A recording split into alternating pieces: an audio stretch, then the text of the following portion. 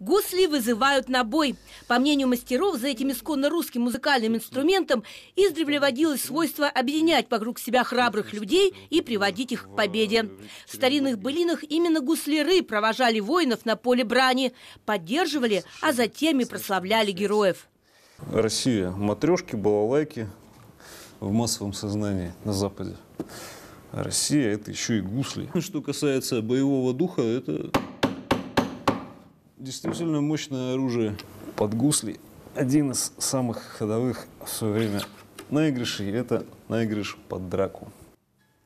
Александр Красовский изготовил этот инструмент для тренера сборной Германии Яхима Лева и даже нанес эмблему Кубка Конфедерации 2017.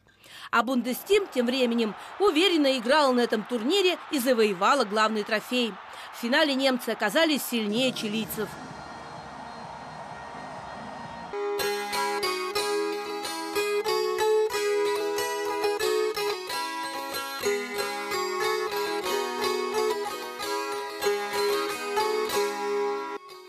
Гусляр уверен, тренер будет рад подарку.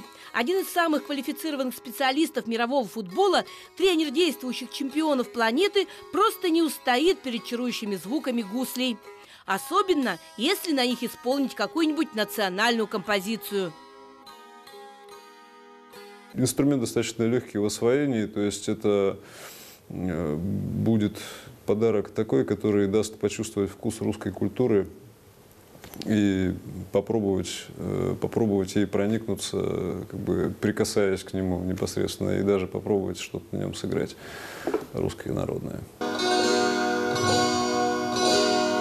Гусли – инструмент народный, поэтому нотная грамота здесь не обязательно. Главное – иметь хороший слух. По словам специалистов, чтобы воспроизвести какой-нибудь традиционный наигрыш, достаточно потренироваться минут 15 но чтобы стать виртуозом, нужны годы.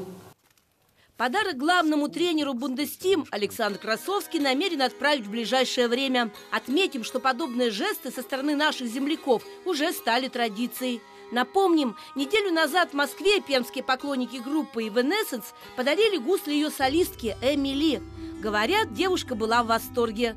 А болельщики футбольной сборной России уже призадумались.